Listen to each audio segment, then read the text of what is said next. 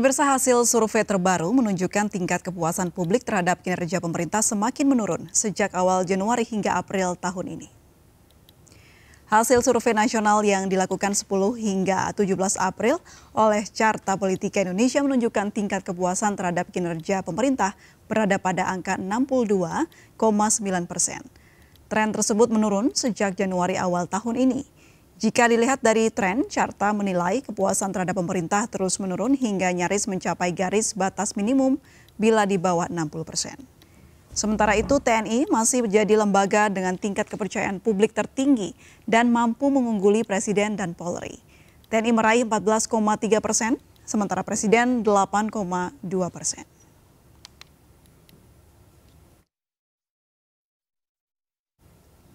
Pemirsa survei Carta Politika menunjukkan tingkat kepuasan terhadap kinerja pemerintahan Joko Widodo Maruf Amin terus menurun sejak awal tahun. Lantas langkah apa yang harus diambil pemerintah untuk meningkatkan kepuasan publik telah bergabung bersama kami Direktur Eksekutif Carta Politika Yunarto Wijaya dan tenaga ahli utama kantor staf Presiden Johannes Joko. Selamat sore Bapak-Bapak. Selamat sore. Selamat sore Mbak. Baik, saya ingin uh, bertanya ke Mas Yunarto terlebih dahulu. Mas Yunarto, ini bagaimana sih hasil survei ini bisa didapatkan itu? Faktor-faktornya apa saja? Iya, ini sebetulnya bagian dari survei yang kita lakukan secara berkala ya. Hmm. Jadi uh, bukan hanya membaca perilaku pemilih yang terjadi yang ada sekarang, tapi kita menarik untuk melihat bagaimana tren data, terutama terkait dengan pertanyaan tadi, kepuasan publik terhadap pemerintah. Ada beberapa pola yang menarik kalau kita coba tarik dalam masa pandemi. Sebetulnya titik terburuk masa pandemi itu uh, terjadi pada bulan Mei 2020. Kalau kita tarik data, tingkat kepuasan publik bahkan berada di bawah 60 persen. Kenapa saat itu terjadi pertama kalinya diberlakukan PSBB, orang kaget dengan situasi pandemi, belum ada vaksin, dan uh, ruang gerak betul-betul dibatasi. Tapi kemudian memang sempat mencapai titik rebound hmm. uh, setelah kemudian penanganan pandemi membaik, menurun lagi pada saat Delta di bulan Juli 2021 dan kemudian sudah spike naik. Jadi aspeknya lebih ke bagaimana penanganan kesehatan, betul ya Mas Yunarto? Bukan, hmm. kita berbicara ketika penanganan pandemi ini kan efeknya bukan hanya kesehatan saja, tapi berbicara bagaimana efeknya ke bidang ekonomi. Dan ketika kita baca di survei, biasanya yang efeknya langsung terasa kepada kepuasan publik secara umum itu adalah terkait bidang ekonomi. Jadi sempat naik ketika kita sudah melewati masa delta, tapi kemudian turun kembali itu di bulan uh, Februari, lalu kemudian survei yang kita lakukan di bulan April ini. Kenapa? Saya pikir sederhana. Sebetulnya situasi pandemi sudah bisa dikatakan uh, cukup membaik ya uh, setelah melewati situasi Omikron. Tapi ketika kemudian terjadi situasi geopolitik baru, perang Ukraina Rusia yang efeknya kemudian kepada uh, masalah ekonomi, lalu kemudian tingkat inflasi yang sebetulnya terjadi di seluruh belahan dunia, hmm. tapi efeknya memang langsung ke kepuasan publik. Jadi memang ini adalah efek dari bagaimana kenaikan harga dari minyak goreng, lalu kemudian sebagian harga sembako, kemudian juga muncul isu mengenai adanya kemungkinan kenaikan pertalite, hmm. solar ataupun TDL dan LPG 3 kilo. Ini yang menurut saya perlu jadi catatan uh, buat pemerintah bagaimana urusan perut ini ternyata berpengaruh langsung terhadap uh, bagaimana kepuasan publik terhadap pemerintahan Jokowi dan angkanya sudah di border. Kalau kita bicara bordernya di mana itu kan biasanya di 60 persen ini dari 71 persen di survei bulan Januari sekarang sudah turun di angka 62,9 persen. Kalau tidak ada perubahan yang cukup berarti menurut saya ini sebuah lampu kuning buat pemerintah. Baik, langsung respon dari Pak Yohanes Joko, tenaga ahli utama kantor staf Presiden, seperti apa Pak mengenai survei yang dilakukan Carta Politika ini? Iya, terima kasih Mbak. Uh, dari catatan kami, memang sebelumnya saya ingin ucapkan terima kasih kepada teman-teman Carta Politika, kepada teman-teman indikator, uh, dan juga dari Kompas yang beberapa hari terakhir ini mengeluarkan hasil surveinya. Memang dari hasil survei yang kita terima, uh, mayoritas mengatakan memang ada tren penurunan tingkat kepuasan kepada pemerintah di angka mendekati angka sekitar 62 sampai antara 59,9 terakhir yang keluar dari uh, indikator tempatnya Mas Burhanuddin ya. Uh, semua ini uh, kita melihat bahwa semua ini sebenarnya Eh, dari berbagai aspek, berbagai faktor, kemudian kita juga melihat uh, turunan-turunan dari survei-survei tersebut, tampaknya memang uh, apa ada setidaknya dalam catatannya carta politika itu ada empat hal yang menjadi apa menjadi uh, catatan yang pertama terkait kepuasan masalah ekonomi, penegakan hukum, kemudian pemberantasan korupsi dan juga praktek demokrasi. Faktor paling besar harus kita akui memang faktor uh, kepuasan masyarakat ter terkait dengan penanganan ekonomi, hmm. khususnya paling besar adalah tentang isu mengenai kenaikan harga. Pada kesempatan ini uh, uh, kami ingin menyampaikan Mbak bahwa memang sejak awal Bapak Presiden sudah menyampaikan kepada publik tentang situasi ketidakpastian ekonomi global.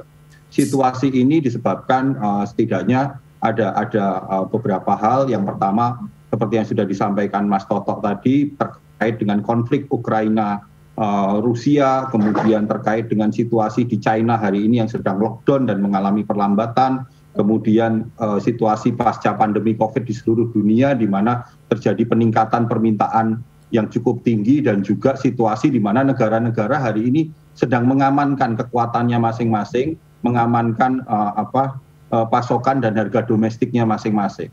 Dari faktor-faktor itu semua uh, terjadilah di mana uh, ada kenaikan uh, permintaan, kemudian terjadi kenaikan harga yang itu berpengaruh terhadap situasi domestik yang kita alami hari ini.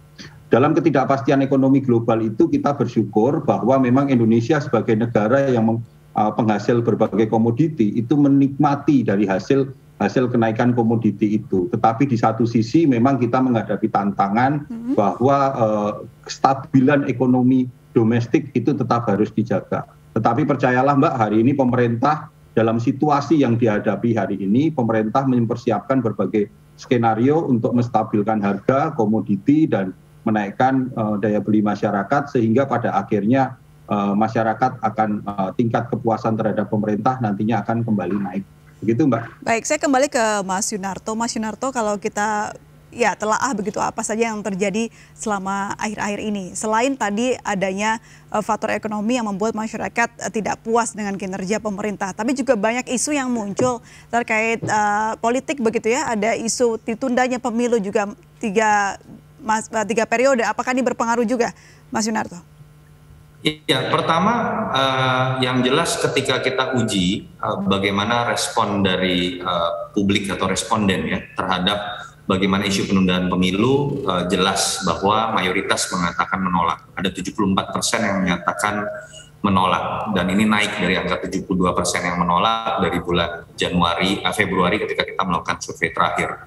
Tetapi ketika pertanyaannya adalah apakah ini langsung berpengaruh kepada kepuasan publik secara umum, hmm. memang dia masih menjadi variabel sekunder. Kenapa? Karena isu penundaan pemilu ini cenderung lebih elitis sifatnya ya. Tidak semua uh, apa concern terhadap isu ini berbeda dengan isu kebutuhan perut terkait dengan ekonomi secara lebih spesifik terkait dengan kebutuhan harga bahan pokok itu memang efeknya langsung menyasar ke semua segmen. Tapi perlu jadi catatan juga saya pikir buat uh, istana atau uh, katakanlah pihak-pihak yang masih menyuarakan uh, suara ini, bagaimana isu elitis ini ketika didiamkan terlalu lama, ini juga akan uh, bisa bergulir kepada segmen-segmen di bawahnya. Walaupun saya pikir kita semua sudah tahu juga bagaimana Presiden sebetulnya sudah menegaskan berulang-ulang mengenai tidak adanya penundaan pemilu dan pemilu pasti dilakukan 2024. Tapi kan uh, kita juga berharap presiden memastikan bagaimana manuver-manuver yang melakukan uh, pihak-pihak yang melakukan manuver ini juga ikut di stop ya, bukan hanya berbicara di hadapan uh, publik. Dan balik lagi, uh, memang tetap isu utamanya adalah isu dari uh, ekonomi, kebutuhan harga bahan pokok, dan yang paling penting adalah jangan sampai kemudian presiden hanya mengeluh. Presiden juga ikut sekedar prihatin atau mengeluh seperti terlihat dalam beberapa statement bagaimana kemudian publik ingin ada sebuah perubahan manajemen kerja. Karena kalau kita lihat kita tanyakan kepuasan kinerja terhadap menteri itu jauh lebih rendah dibandingkan dengan tapi yang menariknya mau, mau maaf saya potong Mas Yunarto. Uh, per, uh, perkara prihatin tadi justru presiden memerintahkan menterinya untuk bisa lebih prihatin ke masyarakat Ya, prihatin dalam konteks tidak hanya sebatas sikap. Hmm. Pemerintah itu kan bekerja untuk dipilih oleh rakyat untuk bekerja, bukan ikut prihatin gitu ya. Okay. Bahwa ini adalah sikap, kalau kita ingat dalam meratas ketika Presiden mengatakan harus ada sense of urgency, saya pikir ini baik sebagai sebuah sikap politik, hmm. menyatakan ada sense of crisis Tapi kan yang ditunggu juga adalah ketika ada penurunan kepuasan publik. Survei Carta Politika menyatakan tingkat kepuasan publik terhadap menteri jauh lebih rendah dibanding survei kepuasan publik terhadap presiden. Artinya kan memang harus ada perubahan manajemen kerja. Misalnya sebuah reshuffle dan reshuffle harus dipastikan bukan sekedar tata ulang koalisi, menambah jumlah kursi menteri untuk parpol misalnya, karena yang sekarang sedang terjadi adalah problem kinerja karena situasi atau tantangan yang dihadapi kan lebih sulit. Ini yang saya pikir ditunggu pertama. Yang kedua adalah sebuah catatan juga ini kan buat pemerintah ketika ingin merumuskan kebijakan-kebijakan ke depan, terutama yang terkait dengan kenaikan harga-harga yang sempat diisukan atau dihembuskan isunya misalnya terkait dengan pertalite terkait dengan bagaimana LPG 3 kilo, TDL ataupun solar, hal-hal yang berkaitan langsung dengan masyarakat di level bawah. Saya pikir perlu seribu kali pemerintah berpikir ulang, walaupun kita tahu ada keterbatasan anggaran untuk kemudian uh, uh, apa merumuskan kembali bagaimana refocusing anggaran ini tidak kemudian merugikan masyarakat bawah yang sekarang tingkat uh, kepuasannya sudah turun dalam. Jadi kepuasan pemerintah ini direspon oleh uh, masyarakat lebih besar karena memang kinerja menteri yang kurang maksimal ya Mas Winarto. Iya, kedua-duanya terkena ya. Kepuasan publik terhadap presiden turun, tapi kepuasan publik terhadap menteri itu jauh lebih rendah, hanya okay. di angka 50 persenan. Hmm. Itu yang menurut saya perlu jadi catatan, bottlenecking terjadi secara lebih sempit di level kementerian. Dan kalau presiden tetap membiarkan situasi ini, hmm. artinya kan uh, yang akan kena juga sebagai pihak yang bisa disalahkan adalah presiden ujungnya. Itu yang menurut saya perlu jadi catatan. Oke, saya ke, kembali ke Pak Joko. Pak Joko, apakah betul ya. saat ini pemerintah sedang struggle berusaha untuk menghandle isu-isu yang terjadi di negara kita? Ya, memang situasinya kan hari ini kita menghadapi seperti tantangan yang saya sampaikan tadi, Pak. Bahwa di satu sisi dalam ketidakpastian global ini kita diuntungkan hmm. karena kita uh, berbagai komoditi kita harganya naik. Tetapi di sisi lain kita juga menghadapi situasi ketidakpastian harga, kemudian juga uh, supply dan pasokan yang akibatnya akhirnya kalau dari dari membaca hasil surveinya Mas Mas Toto di Carta Politika itu kan sebenarnya masalah kenaikan harga yang dikeluhkan oleh masyarakat kan masalah mengenai minyak goreng. Apa yang dilakukan oleh Presiden dengan langkah cepat dan tepat kemarin, Bapak Presiden mengambil langkah untuk uh, yang pertama meminta kepada seluruh menteri dan jajarannya untuk melakukan komunikasi-komunikasi yang lebih uh, mengedepankan apa ya uh, empati uh, per, uh, terhadap situasi yang dihadapi oleh masyarakat sehingga masyarakat juga mengerti situasi yang kita hadapi hari ini sehingga masyarakat bisa mengambil apa eh, tuntutan uh, perubahan manajemen kinerja apakah juga dibahas? Uh, nanti dulu Mbak. Selain hmm. itu dalam situasi itu kan Presiden juga me mengambil kemarin terkait minyak goreng juga mengambil langkah yang sangat tegas sekali menyetop semua ekspor uh, CPO dan turunannya. Dan setelah Presiden melakukan itu hari ini kita uh, tim juga berada di pasar melakukan pemantauan langsung. Uh, lumayan mbak uh, terjadi perubahan yang cukup uh, cukup signifikan. Terkait masalah perubahan manajemen dan uh, bagaimana langkah kerjanya memang itu adalah otoritas penuh bapak presiden. Beliau sangat tahu dinamika yang dihadapi uh, tantangan yang harus diselesaikan dan bagaimana kemampuan timnya. Jadi kalau bicara tentang reshuffle itu sekali lagi itu urusannya bapak presiden. Tetapi sekarang ini pemerintah semua jajaran itu betul-betul fokus terhadap uh, situasi yang sedang kita hadapi hari ya. ini, antisipasi dan juga penguatan dengan berbagai bantalan-bantalan sosial yang sudah di, diserak apa yang yang sudah digulirkan kepada masyarakat. Kalau boleh tahu terakhir Pak Joko, apa sih isu yang paling sulit saat ini bagi Presiden? Ya, isu yang paling sulit tentu uh, uh, adalah kita sama-sama harus mengantisipasi, Mbak, karena bagaimanapun juga kita belum keluar dalam situasi pandemi dan turunan dari berbagai situasi pandemi itu terutama juga terkait dengan masalah ekonomi.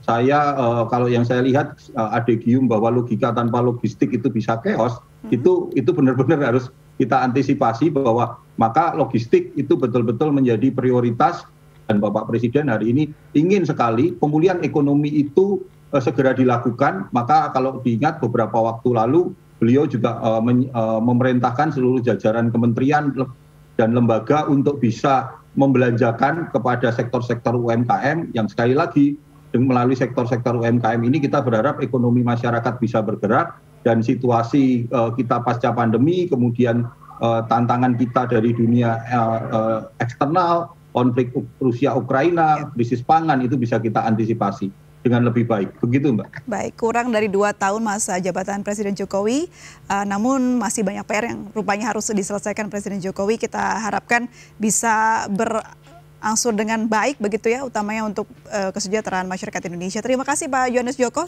sudah bergabung bersama kami, tenaga ahli utama kantor staf Presiden atas waktunya. Terima kasih banyak.